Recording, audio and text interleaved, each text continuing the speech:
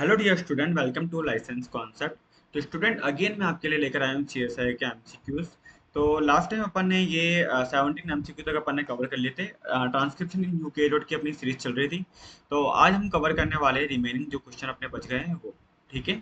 तो देखते हैं नेक्स्ट क्वेश्चन क्या बोल रहा है. देखो नेक्स्ट क्वेश्चन क्या बोल रहा है कि जून ट्वेंटी में आया हुआ क्वेश्चन है. Genetic studies demonstrated that TBP mutant cell extract all deficient in transcription of gene from all three promoter which class first, second and third. Following statement describe characteristics features of Tata binding protein TBP. Okay okay, मतलब TB के TBP के regarding कुछ यहाँ पे statement दे रखे हैं और हमें क्या आइडेंटिफाई करना है which of the following combination is not correct मतलब कि मुझे आइडेंटिफाई करना है incorrect statement regarding TATA binding protein देखो क्वेश्चन ये बोल के जा रहा है कि जितने भी अपने पास जीन हैं लाइक आप देख रहे होंगे जब अपन ट्रांसक्रिप्शन पढ़ रहे होते हैं इन यू कैरियोर्स तो ट्रांसक्रिप्शन बाय आईने परिमेश फ़र्स्ट है सेकंड है थर्ड है। हर टाइप में मतलब आप देखोगे, हर जगह पे class first promoter second promoter third promoter जब अपन पॉलीमेज थर्ड के थ्रू पढ़ते हैं, तब हम देखते हैं। तो हर जगह आप देखोगे टाटा बाइंडिंग प्रोटीन का इन्वॉल्वमेंट होता है टाटा बाइंडिंग प्रोटीन का रोल होता है। तो यहाँ पे कुछ स्टेटमेंट दे रखे हैं रिगार्डिंग टाटा बाइंडिंग प्रोटीन तो यहाँ पे हमें पूछा गया है कि टाटा बाइंडिंग के प्रोटीन के रिगार्डिंग क्या स्टेटमेंट यहाँ पे इनकरेक्ट है तो बताना सो वेरी फ़र्स्ट स्टेटमेंट बोल रहा है कि TATA binding protein is considered as an universal basal transcription factor तो एकदम सही बात बोली है, क्योंकि देखो आपने देखा होगा कि ये transcription transcription by RNA polymerase polymerase first की बात की जाए सेकंड की बात की जाए या थर्ड की बात की जाए। ठीक है? आपको आर आर एन ए बनाना है, आपको एम आर एन ए बनाना है, या आपको टी आर एन ए बनाना है, हर जगह मुझे टी बी पी का इन्वॉल्वमेंट चाहिए, टाटा बाइंडिंग प्रोटीन का इन्वॉल्वमेंट चाहिए। चाहे तो आप इसके लेक्चर देख सकते हो, मैंने इसके लेक्चर डाल रखे हैं ट्रांसक्रिप्शन इन यू के की प्लेलिस्ट के थ्रू आप ये देख सकते हो, ठीक है? सारे लेक्चर आपको मिल जाएँगे ओके मॉलिकल बायोलॉजी के 80 प्लस में लेक्चर अपन डाल रखे हैं एंड देन वो सफिशियंट है for C S I R mol bio की यूनिट के लिए, ठीक है? सो so, देखिए तो ये वाला स्टेटमेंट एकदम सही बात है क्योंकि बेसल ट्रांसक्रिप्शन फैक्टर है टाटा बाइंडिंग प्रोटीन। देन बोल रहे हैं कि TBP is not required for transcription of archaeal gene तो ट्रांसक्रिप्शन अगर मेरे को करना है आर्कियल जीन के लिए तो टाटा बाइंडिंग प्रोटीन की रिक्वायरमेंट नहीं होगी तो ये एक तरह से क्या हो गया रॉन्ग स्टेटमेंट हो गया। हर जगह चाहिए आपको टाटा बाइंडिंग प्रोटीन। ओके तो ये गलत है। TATA binding protein is involve in recognition of TATA box तो टाटा बाइंडिंग प्रोटीन का काम क्या टाटा बाइंडिंग प्रोटीन का काम है कि ये क्या करती है? देखो, यहाँ पे हमारे पास में जब ट्रांसक्रिप्शन न्यू कैरियर देख रहे होते हैं तो वहाँ पे एक बॉक्स होता है जिसका नाम है T A T A TATA box और टाटा बाइंडिंग टाटा बॉक्स पे कौन बाइंड करती है? ये बाइंड करती है हमारी कौन? टी बी और T B TATA binding protein okay तो अगर अपन बात करें सी स्टेटमेंट कि TBP is involve in the recognition of TATA box तो सही बात है। फिर उन्होंने बोला TBP operate all promoter regardless regardless of their TATA content तो ये बोल के जा रहे हैं कि टीबीपी हर जगह ऑपरेट कर रही है रिगार्डलेस जहाँ पर टाटा कंटेंट नहीं हो तो वहाँ पर भी। तो ऐसा तो नहीं होगा ना टाटा चाहिए होगा, तभी तो टाटा बाइंडिंग प्रोटीन बाइंड करेगी। So which of the following combination is not correct तो यहाँ पे आंसर हो जाएगा हमारा third B and D okay next question की तरफ़ मूव करते हैं. Which one of the following statement about TATA binding protein TBP is not true देखो, अब ये क्वेश्चन आया हुआ है कब का? जून 2023 सेकंड आपको लग रहा होगा किस तरीके कौन सा छोटा बच्चा वाला क्वेश्चन ले रहे हैं? 2011 का क्वेश्चन है, पर टाटा बाइंडिंग प्रोटीन का 2011 में क्वेश्चन आया था, और टाटा बाइंडिंग प्रोटीन का एक क्वेश्चन देखो, अब आ रहा है 2023 के अंदर. जून 2023 के अंदर. ठीक है, ज़्यादा पुराना क्वेश्चन नहीं है। तो देखो टाटा बाइंडिंग प्रोटीन के बारे में आपको कुछ और भी पता होना चाहिए थोड़ा बहुत। तो मैं आपको बता देता हूँ थोड़ा आपको टाटा बाइंडिंग प्रोटीन के रिगार्डिंग ओके ये देखो।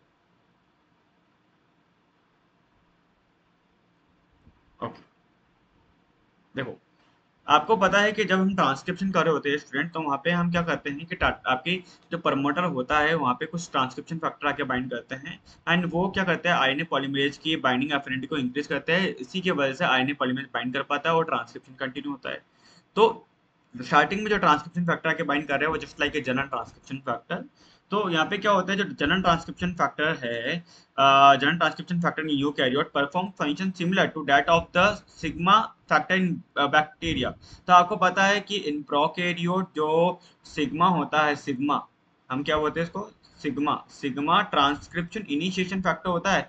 वैसे न्यू कैरियोट क्या होता है? टाटा बाइंडिंग प्रोटीन टीवीपी क्या होती है? टाटा बाइंडिंग प्रोटीन क्या होती है? आपके ट्रांसक्रिप्शन फैक्टर होती है। सही बात है। And the key role of general transcription factor in eukaryote transcription initiate including क्या हो सकता है जब जनरल ट्रांसक्रिप्शन फैक्टर बाइंड करते हैं? तो general transcription factor assisting RNA polymerase in the binding of the promoter कि भाई आपको कहाँ बाइंड करना है, कैसा बाइंड करना है? Melting of DNA to separate the two strand के लिए भी ये ज़रूरी है। Helping the polymerase to escape from the promoter के लिए भी ज़रूरी है। Various transcription factor are involve in the initiation of transcription in eukaryotes तो यहाँ पे बहुत सारे टाइप के ट्रांसक्रिप्शन फैक्टर आके बाइंड करते हैं न्यू कैरियोट्स तो आप लोगों को बताया था, देखो यहाँ पे, उस समय आपको बताया था कि टाटा टाटा बॉक्स है लाइक ये टाटा बॉक्स है और ये प्रमोटर है। तो सबसे पहले टीबीपी बाइंड करेगी। टीबीपी से बाइंड करेंगे कौन? TAFs T A F S TAFs TAFs और टीबीपी को कंबाइनली बोलते हैं transcription factor second D okay then transcription factor second D के बाद में बाइंड करते हैं आपके ट्रांसक्रिप्शन फैक्टर सेकंड बी और बी के बाद बाइंड करेगा transcription factor second F F क्या करता है? ये एफ़ क्या करेगा बच्चों? ये रिक्रूट करेगा। ये एफ़ क्या करेगा? रिक्रूट करेगा किसको? R N A polymerase second को। किसको? R N A polymerase second को। इसके बाद में बाइंड करता है हमारा कौन? ट्रांसक्रिप्शन फैक्टर सेकेंड ई और देन लास्ट में बाइंड करेगा ट्रांसक्रिप्शन फैक्टर सेकेंड एच तो ये ऐसे कंटिन्यूसली बाइंड करते हैं। एक सिक्वेंस बाइंड करते हैं। अब देखो यहाँ पे इन्होंने बोला various transcription factor are involve in the initiation of transcription in eukaryotes here are the different type of general transcription factors and their role in transcription initiation so very first transcription factor second D जो होता है combinedly TVP and टेफ्स वही है। तो so the first GDTF general transcription factor to bind the TATA box It is a multi-subunit complex with the Tata binding protein binding directly to the Tata box, and TBP associated factors are other component of transcription factor second D ये दोनों मिलकर के transcription factor second D बनाते हैं। Then transcription factor second D bind to the DNA after transcription factor second D and bridge the TATA bound TBP and RNA polymerase क्योंकि यहाँ पे इससे टाटा से जस्ट अपस्ट्रीम यहाँ पे कौन होता है? यहाँ पे अगर आप देखोगे तो यहाँ पे बी आर ई होता है। Transcription factor second B recognition element और इसके डाउन स्ट्रीम होता है इनिशिएटर और इसके भी डाउन स्ट्रीम बहुत बड़ा है ये। यहाँ पे इसके डाउन होता है M T E motif ten element और इसके भी डाउन होता है डाउन परमोटर एलिमेंट क्या होता है? Stream promoter element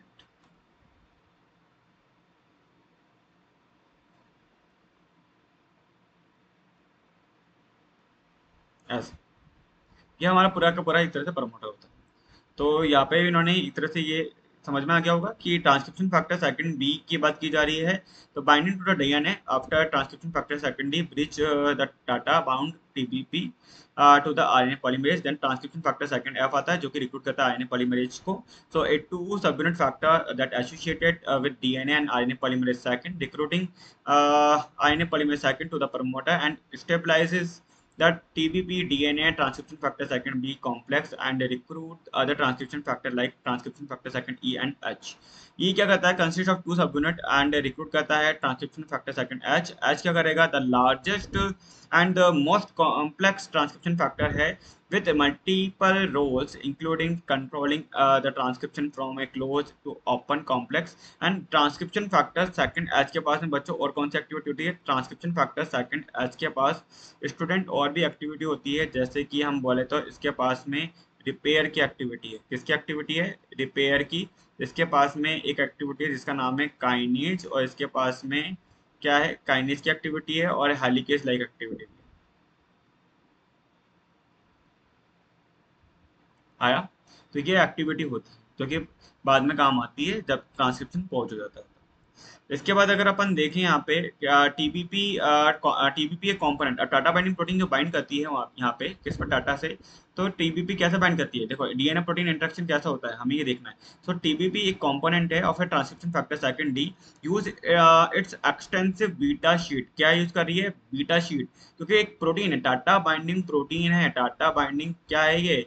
TATA binding TATA binding protein है। क्या है? ये प्रोटीन है बच्चों। प्रोटीन है तो लाइक इसके पास में क्या होंगे? ये देखो, ये तो अपन ने अल्फ़ा हेलिक्स बना रखे हैं। फिर कुछ यहाँ पे इसके पास में क्या होंगे? लूप्स ये शीट भी तो होगी। ठीक है हेलिक्स और हेलिक्स हो सकते हैं। तो ऐसी तो प्रोटीन बनती है। तो देखो, यहाँ पे हम जो टाटा बाइंडिंग प्रोटीन है component transcription factor second D का, ये क्या करता है? यूज़ करता है एक्सटेंसिव बीटा शीट जो इसकी बीटा शीट्स होती है, इसको यूज़ में करता है region of the recognition recognise the minor group of the TATA element मतलब कि जो टाटा बॉक्स है, ये डीएनए, अपना ये डीएनए है तो इस डीएनए का क्या करता है, जो माइनर ग्रुप होता है, इस माइनर ग्रुप पे आके ये क्या करता है, टाटा बाइंडिंग प्रोटीन आके बाइंड करती है। Okay? Sir and upon binding the to the DNA TBP winds these minor group and and almost flat configuration and cause the DNA to bind approximately eighty degree okay जैसे ये TATA पे uh, क्या करेगा, ये TBP आके bind करेगी। तो बच्चों क्या होता है ये एक तरह से क्या करता है 80 डिग्री क्या करता है ये 80 डिग्री रोटेट हो जाता है, ये मैंने आपको प्रीवियस क्वेश्चन के अंदर भी बताया है। ओके ये टाटा है टाटा से जैसे ही कौन बाइंड करेगा टाटा से जैसे ही टीबीपी आके बाइंड करेगा टीबीपी तो ये 80 डिग्री का क्या ले लेता है कि एक तरह से बैंड ले लेता है। ठीक है? एंड टीबीपी देन यहाँ पे एक और चीज़ हमें देखना है आंसर करेक्ट कैसे हो ये अपन देखेंगे थोड़ी देर में। When TB bind to the TATA box within the DNA तो जैसे टाटा बाइंडिंग प्रोटीन बाइंड करती है, टाटा बॉक्स से within the DNA DNA पे it distort the DNA by inserting amino acid side chain between base pair partially unwinding the helix and doubly thinking it it distort the accomplished uh, through a great amount of surface contact uh, between the protein and DNA and TPP bind with the negative charge phos uh, negative charge phosphate in the DNA backbone through positive charge lysine and arginine amino acid residues मतलब how TPP bind with DNA so यहाँ पे बोल रखा है TPP bind uh, with the negatively charged phosphate in the DNA backbone through positive charge lysine and arginine amino acid residues and the sharp band in the, in the DNA is produced uh, through project of four bulky phenylalanine residues uh, into the minor group मतलब यहाँ पे चार क्या होते हैं phenyl alanine residues होते हैं कहाँ पर माइनर ग्रुप के अंदर जो कि इसको बाइंडिंग के लिए रेस्पॉन्सिबल होते हैं बाइंड कैसे करेगी बाइंडिंग कैसे करती है क्योंकि डीएनए पे क्या है फॉस्फेट ग्रुप फॉस्फेट है डीएनए क्या नेगेटिव चार्ज है क्यों क्योंकि इसके पास फॉस्फेट है एंड टीबीपी के पास में क्या है? पॉजिटिव चार्ज अमाइनो एसिड है लाइक लाइसिन एंड आर्जिन तो उसकी वजह से बाइंड करेंगे। एंड यहाँ पे शार्प बैंड के लिए कौन रेस्पॉन्सिबल है? फोर बल्कि फ्लाइन अलाइन रेजिड्यूज रेस्पॉन्सिबल होते हैं, जो कि माइनर ग्रुप में देखने को मिलेंगे।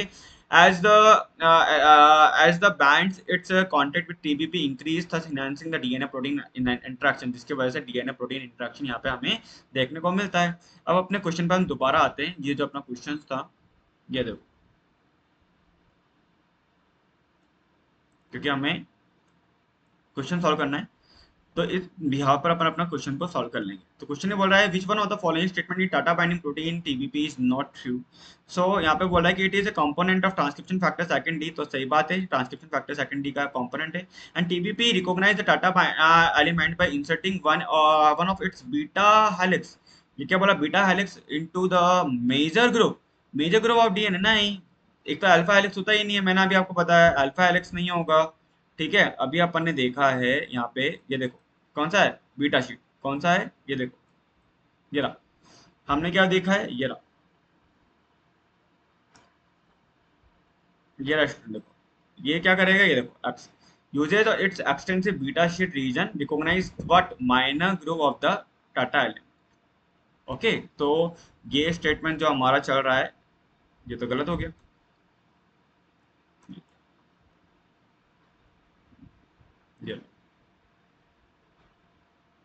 हम्म। तो हमारा ये स्टेटमेंट तो सेकंड नॉट ट्रू ही पूछा था तो सेकंड तो गलत हो गया। फिर बोला था, TATA TATA binding protein DNA interaction cause the DNA to bend सही बात है 80 डिग्री का क्या होगा यहाँ पे? रोटेशन होगा। सही बात है। ठीक है 80 डिग्री रोटेशन होगा। फिर इन्होंने बोला है कि the TATA binding protein DNA interaction is govern in the in part by the intercalation of the side chain of phenylalanine residues of TBP between the base pair at the two ends of the TATA element sequence तो ये भी एकदम सही बात है कि band लेता है तो कौन रेस्पॉन्सिबल फिनाइल एलानिन प्रेजेंट होता है। सो so, यहाँ पे हमारा जो नॉट ट्रू मतलब इनकरेक्ट स्टेटमेंट पूछा गया था तो आंसर क्या हो जाएगा? हमारा सेकंड हो जाएगा क्योंकि ये इनकरेक्ट स्टेटमेंट है। तो यहाँ पे जो आंसर है 19 का वो क्या हो जाएगा? सेकंड नेक्स्ट क्वेश्चन की तरफ़ मूव करते हैं। नेक्स्ट क्वेश्चन देखो क्या बोल के जा रहा है कि जून ट्वेंटी फिफ्टीन में आया हुआ क्वेश्चन है। In order to study the transcription factor second H, it uh, was cloned from a uh, from a large number of human subjects. Uh, surprisingly, the subject uh, having mutation in transcription factor second H also show defect in their DNA repair system. तो यहाँ पे इन्होंने बोला है कि having mutation in what transcription factor second H ठीक है and also show defect in their DNA repair system. So given uh, below are the explanation. तो हमें क्या आइडेंटिफाई करना है हमें ये पता करना है choose the correct statement correct statement बताना है कि क्या यहाँ पे सही है ठीक है? अब देखो इन्होंने क्या बोला है करेक्ट स्टेटमेंट के रिगार्डिंग क्या बोला है? इन्होंने बोला है ए स्टेटमेंट में DNA damage is always associated with transcription inhibition क्या ट्रांसक्रिप्शन इनिबिशन होगा, तभी हमें हमेशा क्या देखने को मिलेगा? डीएनए डैमेज देखने को मिलेगा। Always associated with transcription inhibition तो ऐसा नहीं होता है। समझ रहे हो? कि डीएनए डैमेज हो रहा है, वो ऑलवेज एसोसिएटेड है ट्रांसक्रिप्शन इनिबिशन ठीक है? कई बार आपको जब ट्रांसक्रिप्शन म्यूटेशन पढ़ाया था हमने तो transcription couple NER and global genomic NER भी पढ़ा था। ज़रूरी नहीं कि डैमेज हो रहा है देन उससे क्या होगा ट्रांसक्रिप्शन इनिबिशन हो। कई बार क्या होता है कि ट्रांसक्रिप्शन कंटिन्यू हो गया आगे चला गया है एंड देन पीछे के साइड से अगर डैमेज हो गया तो। ठीक है तो वो अलग तरीके होते हैं। हमने आपको म्यूटेशन के अंदर डिटेल में बताया था म्यूटेशन एंड रिपेयर के अंदर, कि कैसे इसको सही करते हैं। तो ये तो गलत बात हो जाएगी। देन इसने बोला है क्या देन ये बोल के जा रहा है कि transcription factor second H has no role in DNA repair तो आपको मैंने क्लास में जब पढ़ाया था, ठीक है, कि ट्रांसक्रिप्शन फैक्टर सेकंड एच के पास में अभी मैंने बताया है, इसके पास में काइनेज एक्टिविटी है, इसके पास में हेलिकेज एक्टिविटी है, इसके पास में रिपेयर की एक्टिविटी है, बच्चों तो हमें पता है कि रिपेयर एक्टिविटी मतलब क्या? काम आएगा। आपको रिपेयर के टाइम पे एक्स पी डी का रोल पढ़ाया होगा एक्स पी जी का रोल पढ़ाया होगा एक्स पी एफ़ का रोल पढ़ाया होगा। तो ये सारे के सारे एक्स पे जी एफ़ डी ये क्या होते हैं बच्चों? ये सब यूनिट है ट्रांसक्रिप्शन फैक्टर सेकंड एच की। तो ये has no role in DNA repair तो ये भी एक तरह से क्या हो जाएगा? गलत हो जाएगा। नेक्स्ट अगर अपन देखें यहाँ पे कि इन्होंने बोला है कि in mammalian system transcription factor second H play an active role in transcription couple DNA repair process तो यहाँ पे इन्होंने क्या बोला है कि मेमिलियन सिस्टम के अंदर जो ट्रांसक्रिप्शन फैक्टर सेकंड एच है, वो प्ले करता है active role in transcription couple DNA repair process मतलब कि जब भी आपको, आपने बताया आपको पढ़ाया था ट्रांसक्रिप्शन कपल कपल एनईआर या आपको G G N E R पढ़ाया था G G N E R global genomic N E R तो वहाँ पे आपको रिपेयर के अंदर पढ़ाया था ट्रांसक्रिप्शन फैक्टर सेकंड एच का रोल जो कि यहाँ पे इसकी जो एक्स पी जी और X P F subunit होती है, वही काम आती है बच्चों। समझ में आया? एक्स पी जी और एक्स पी एफ़ यहाँ पे क्या कर रही है? एक तरह से काम में आ रही है। सो यहाँ पे हम क्या देखेंगे तो mammal system mammalian system transcription factor second H play an active role in transcription couple DNA repair process तो एकदम सही बात बोल दी। फिर नेक्स्ट देखो यहाँ पे इन्होंने क्या बोला है कि because of the mutation in transcription factor second H transcription initiation is inhibited and incompletely synthesize M R N A remain attach to the template and leading to the DNA damage तो ऐसा भी कुछ देखने को नहीं मिलता है कि बच्चा की म्यूटेशन हुआ है ट्रांसक्रिप्शन फैक्टर सेकंड एच के अंदर एंड ट्रांसक्रिप्शन इनिशिएशन क्या हो गया, एक तरह से इनिबिट हो गया है एंड इनकम्प्लीटली जो सिंथेसाइज एमआईएन है और अभी भी अटैच फॉर्म में बैठा हुआ है टैम्पलेट पे एंड वो क्या कर रहा है डीएनए डैमेज कर रहा है। तो ऐसा कुछ देखने को नहीं मिलता है, ठीक है? तो अगर आपका एम अगर ऐसे देख ट्रांसक्रिप्शन फैक्टर सेकंड एच यूँ अटक भी जाता है, और एम आई एन अगर अगर बाइंडेड फॉर्म में भी है तो वहाँ पे अमायन डिग्रेडेशन के बहुत सारे पाथवे हैं जो अपन ने पढ़े हुए हैं, ठीक है? तो उससे अपन अमायन को डिग्रेड कर सकते हैं, ना कि डीएनए को हम डैमेज होने देंगे तो यहाँ पे देखो, ये भी गलत हो गया। अगर देखा जाए तो देखो ए और बी तो वैसे ही रॉन्ग थे तो ए और बी फ़र्स्ट एलिमिनेशन कर सकते थे बी यहाँ आ रखा है, इसको भी एलिमिनेशन कर सकते थे। सी करेक्ट था तो सी अलोन था। सी करेक्ट है तो सी अलोन है, इसलिए हम बोल सकते थे कि सी करेक्ट है डी तो वैसे ही रॉन्ग हो जाएगा, फिर अकेला। ओके? नेक्स्ट क्वेश्चन के मतलब इसका एलिमिनेशन मेथड से भी कर सकते थे बट अपन ने सारे एक्सप्लेनेशन देने। ठीक है? नेक्स्ट क्वेश्चन देखते हैं अपन। ट्वेंटी तो हो गए next okay so the next MCQ is the initiation of transcription is complex process involving promoter recognition, conversion of the initiation complex from closed to open form, abortive initiation events, and finally promoter step. The following uh, statement are made regarding three step of transcription initiation. तो तीन step हमें बताने हैं transcription initiation के बच्चों और यहाँ पे हमसे पूछा क्या गया है देखो क्वेश्चन के अंदर कि which one of the following option represent represent the combination of all correct statement हमें करेक्ट स्टेटमेंट बताने हैं बच्चों इसकी ठीक है तो देख लेते हैं करेक्ट स्टेटमेंट के रिगार्डिंग देखो फ़र्स्ट स्टेटमेंट बोल रहा है कि promoter escape the bacteria is usually accompanied by the releasing of sigma factor form RNA polymerase holoenzyme इन्होंने बोला प्रमोटर एस्केप इन बैक्टीरिया तो वो क्या करते हैं यूजुअली क्या करेंगे? सिग्मा फैक्टर को क्या करेंगे? रिलीज़ कर देंगे from the RNA polymerase holoenzyme complex क्योंकि आपको क्या होता है? इन बैक्टीरिया इन बैक्टीरिया आपको पता है कि सिग्मा प्लस में कोर एंजाइम मिल करके होलो एंजाइम का फॉर्मेशन करते हैं। कोर एंजाइम में दो अल्फ़ा दो alpha beta beta prime omega सब होती है और होलो में सिग्मा होगी, दो अल्फ़ा होगी बीटा होगी बीटा प्राइम होगी और ओमेगा होगी। तो परमोटर क्या होता है जो बैक्टीरिया के अंदर? वो क्या करता है? एक तरह से रिलीज़ कर देता है सिग्मा फैक्टर को from the RNA polymerase holo तो अगर अपन देखें तो ये स्टेटमेंट एकदम करेक्ट नेक्स्ट देखिए abortive initiation event in prokaryote result in the formation of short transcription 10 nucleotide in length. While such event in the eukaryote result the formation of transcription 75 nucleotide in length. तो ये एक तरह से wrong statement हो गया।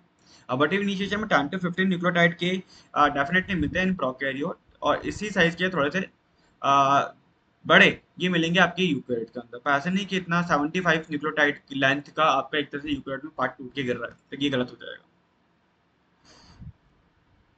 Next अगर अपन देखें यहाँ पे promoter promoter escape uh, in eukaryote is uh, accompanied by the phosphorylation of the RNA polymerase last subunit on its uh, हमने बोला है कि प्रमोटर क्या है? प्रमोटर एस्केप इन यूकैरियोट ये कंप्लीट होता है। कैसे? तो हम यहाँ पे क्या करते हैं? फॉस्फोराइलेशन करते हैं। आईने पॉलीमरेज लास्ट सब यूनिट का on its C terminal domain तो याद करो आईएनए पॉलीमरेज में आपको पढ़ाया गया था सी टर्मिनल जो टेल्स होती है यहाँ पे Y S P T S P S की सिक्वेंस होती है।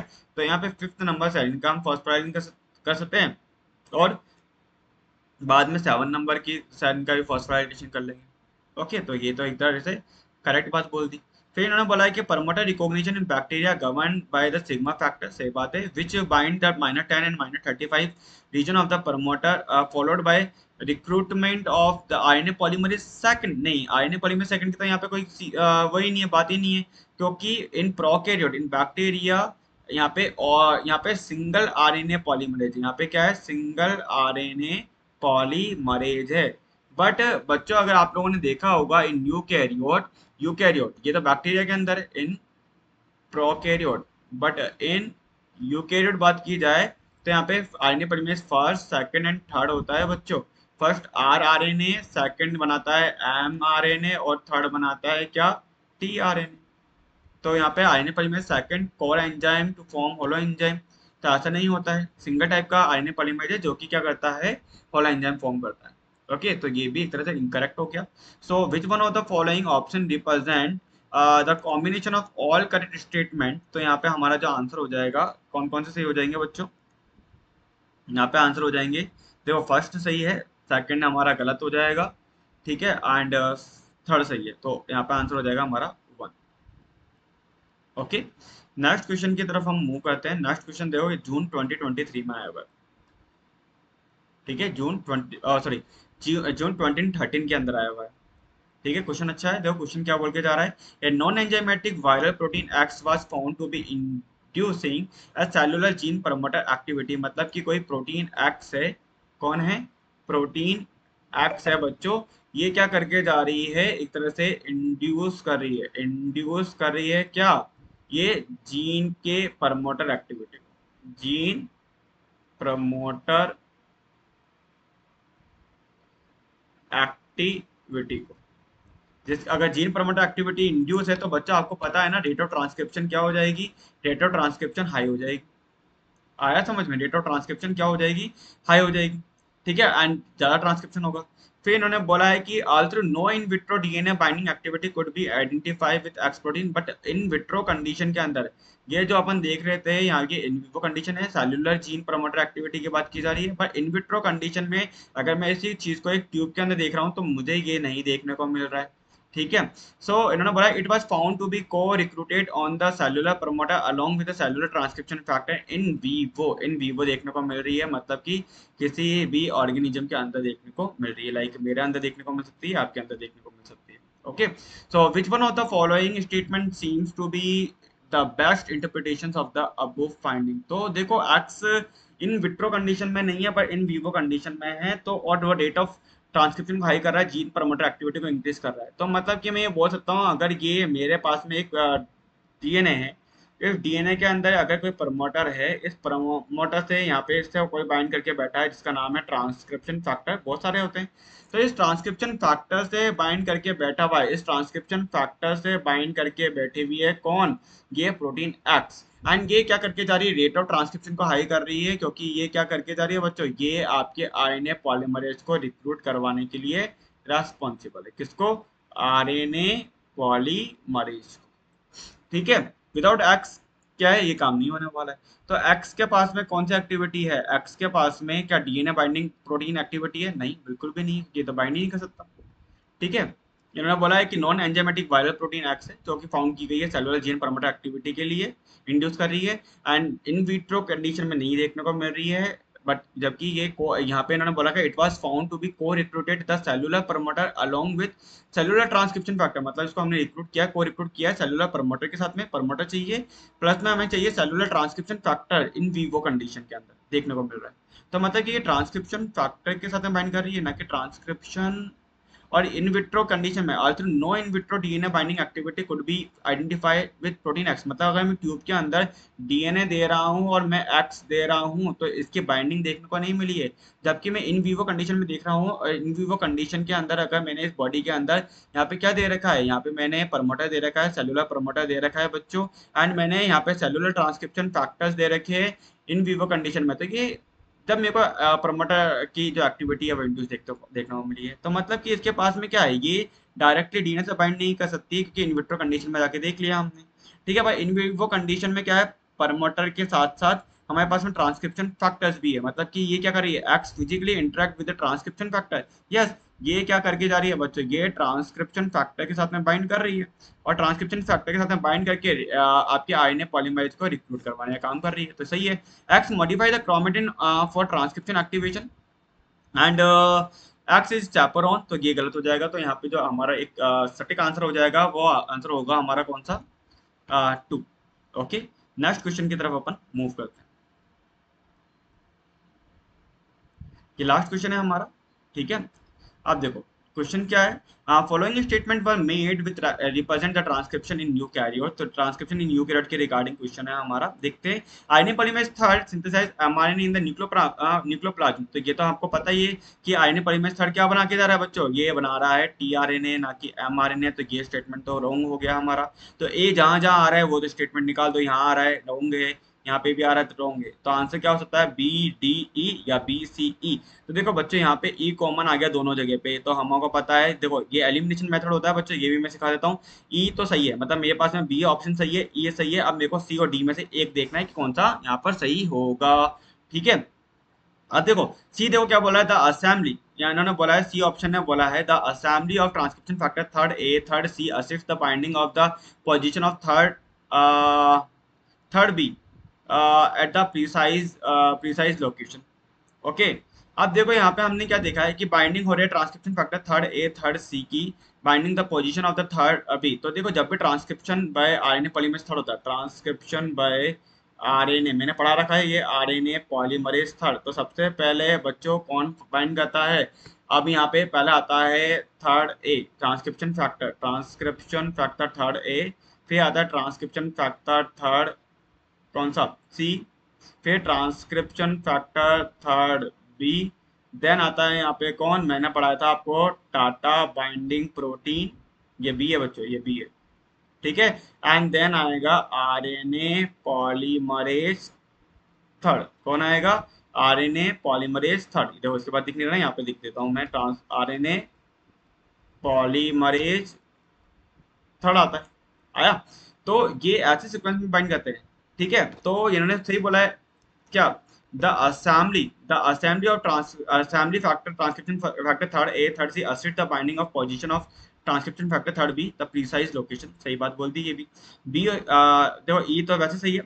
ए गलत है, अपना बोल दिया। बी ये भी देख लेते the target promoter of RNA polymerase third is usually represent by a bipartite sequence downstream of the transcription start site तो देखो, मैंने बताया था ट्रांसक्रिप्शन स्टार्ट साइट के डाउन स्टेम में यहाँ पे बाईपेटाइड सीक्वेंस आपको बॉक्सेस देखने को मिलते हैं। लाइक मैंने आपको पहले क्लास में बताया था लाइक मैं यहाँ पे बता देता हूँ दोबारा। ये देखो। ये प्रीवियस क्वेश्चन को सॉल्व करना है। जिसने इनका एक्सप्लेनेशन देखा है, वो इनका एक्सप्लेनेशन भी देख ले, ताकि आपको ये क्वेश्चन अच्छे से समझ में आए। तो देखो transcription by RNA polymerase third के अंदर आरएनए पॉलीमरेज देखो transcription by RNA polymerase third के अंदर। आप तीन टाइप के प्रमोटर देखते हो type first promoter type second promoter और टाइप थर्ड प्रमोटर आपको बताया था टाइप फ़र्स्ट प्रमोटर में बॉक्स ए एन सी होता है और ये five S R R N A बनाते हैं। टाइप सेकंड क्या, और यहाँ पे प्रमोटर क्या होता है ट्रांसक्राइब होता है। टाइप सेकंड प्रमोटर के अंदर यहाँ पे बॉक्स ए और बी होते हैं start site upstream to promoter होती है प्रमोटर ट्रांसक्राइब होता है। एंड टाइप थर्ड प्रमोटर के अंदर oct proximal sequence element TATA होते हैं और स्टार्ट साइड प्रमोटर के डाउन स्ट्रीम होती है मतलब कि प्रमोटर इज़ नॉट ट्रांसक्राइब तो ये मैंने आपको पूरा बताया था, और ये बनाता है U six S N R N A ये टी आर एन ए और ये बनाता है फ़र्स्ट क्या? Five S R R N A तो ये आपको ऑलरेडी ऑलरेडी मैं डिटेल में पढ़ा चुका हूँ, और ये एक तरह से क्या है बच्चों? ये आपकी बाईपेटाइट सिक्वेंस हो गई। देखो स्टार्ट साइड के बाद में यहाँ पे बॉक्स ए और बॉक्स सी बाईपेटाइट सिक्वेंस है। स्टार्ट साइड के बाद में बॉक्स ए और बी बाईपेटाइट सिक्वेंस है। ठीक है? तो यहाँ पे हमने क्या देखा है कि यहाँ पे क्या है? ये देखो, अपना क्वेश्चन कहाँ गए? ये देखो। ये रहा। तो यहाँ पे इन्होंने क्या बोला है कि आ, आ, इस क्वेश्चन के अंदर कि the target promoter of RNA polymerase third is usually represent by bipartite sequence downstream कहाँ पे? Downstream of the transcription start site सही बात बोल दी इन्होंने ये बी भी एकदम से करेक्ट है। फिर इन्होंने बोला transcription factor third B is the last factor that join the initiation complex नहीं थर्ड बी के बाद में कौन आके बाइंड कर रहा है? टीबीबी भी तो बाइंड कर रहा है बच्चों। तो ये तो एकदम से रॉन्ग हो गया। फिर इन्होंने बोला है phosphorylation of serine residues in the C terminal domain of RNA polymerase second serve as a binding site of amine processing enzyme सही बात है? इसी के बाद में आपने देखा होगा, ये जब बाइंड करते हैं, इसके बाद में डीएसआईएफ बाइंड करता है। DRB sensitive inducing factor and ये रिक्रूट करता है किसको? एनी एल को negative N E L negative elongation factor और किसको बोलाता है? ये कैपिंग कैपिंग एंजाइम को रिक्रूट करता है। कैपिंग एंजाइम को रिक्रूट करता है। बाद में कौन आता है? बाद में आता है positive transcription elongation factor B and then आपका ट्रांसक्रिप्शन को ये कंटिन्यू करते हैं। ओके तो ये भी एक तरह से करेक्ट हो जाएगा। तो देखो डी तो इनकरेक्ट है तो ये वैसे डी इनकरेक्ट है तो ये हट जाएगा। ठीक है? तो आंसर यहाँ पे हमारा इंडायरेक्टली में क्या हो जाएगा? ट्वेंटी थ्री का हमारा आंसर हो जाएगा सेकंड क्या हो जाएगा? सेकंड क्योंकि ए गलत है तो यहाँ से हट जाएगा, यहाँ से भी हट जाएगा। अब देखो यहाँ पे क्या हो सकता है तो बी बी दोनों जगह आ रहा है तो बी यहाँ पर भी है, यहाँ पर भी है ई दोनों जगह है, यहाँ पर यहाँ पर है। तो हम देख लेंगे कि भैया हमारा कौन सा सही है। समझ में आ रहा है कि कॉमन कौन सा कॉमन कॉमन कौन सा नहीं है? सी और डी में हमें देखना था, बस ताकि अपन टाइम को कंज्यूम कर सके। तो ऐसा हम क्या कर सकते हैं, अपने क्वेश्चन को बहुत इजीली सॉल्व कर सकते हैं। क्वेश्चन में सॉल्व करने का तरीका आई थिंक आपको अच्छा लग रहा हो। ठीक है आपको समझ में आ रहा होगा कि क्वेश्चन कैसे सॉल्व करना है क्वेश्चन में समझना कैसे है क्वेश्चन को रीड कैसे करना है क्वेश्चन का आंसर कैसे लगाना है। एक्चुअली हमें बस ये ध्यान देना है कि क्वेश्चन को सॉल्व कैसे करना है ठीक है? तो how to read question how to understand question and which content is crucial and which line is crucial वो हमें समझ में आना चाहिए। अगर आपके कॉन्सेप्ट क्लियर है आपके टॉपिक्स क्लियर है आपकी थ्योरी एकदम क्लियर uh, है तो आप क्वेश्चन को इजीली लगा सकते हो अदरवाइज़ इस क्वेश्चन को लगाने में आपको थोड़ा प्रॉब्लम्स हो अगर आपको ये कंटेंट चाहिए, आपको ये कंटेंट रीड करना है तो मैंने फ्री में ये कंटेंट पूरा का पूरा यूट्यूब के प्लेलिस्ट में डाल डाल रखा है। मॉलिकुलर बायोलॉजी नाम से पूरा का पूरा कंटेंट है। आप चाहो तो पूरी की पूरी मॉल बायो को आप वहाँ से रिवाइज कर सकते हो, पूरी पढ़ सकते हो और एमसीक्यू में आपको सॉल्व करा रहा हूँ। ठीक है? तो आई होप आपको ये क्वेश्चन अच्छे से समझ में आ रहे हो, कोई डाउट ना रह रहा हो। ठीक है? अगर ये सारे क्वेश्चन आपको अच्छे से समझ में आ रहे हो, कोई डाउट नहीं है तो लाइक करो शेयर करो सब्सक्राइब करो। All the best for exam bye take care